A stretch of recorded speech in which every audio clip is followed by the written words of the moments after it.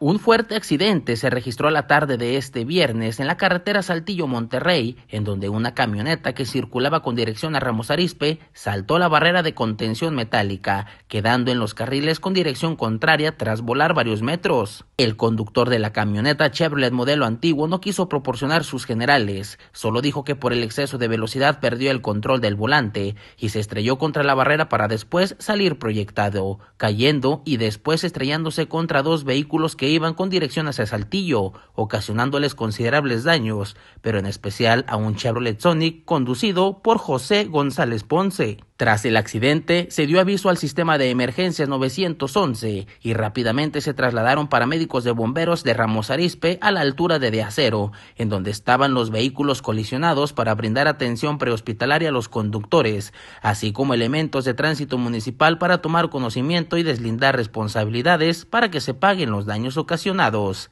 Efren Maldonado, RCG Noticias.